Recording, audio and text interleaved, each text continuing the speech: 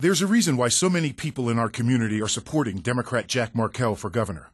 Perhaps it's because of Jack Markell's work as the chairman of the Metropolitan Wilmington Urban League, or Markell's record as state treasurer, creating the Delaware Money School, which offers free classes to adults about how to manage and save money. Or because he's the only Democrat with a real plan for universal health care to cover everyone in Delaware.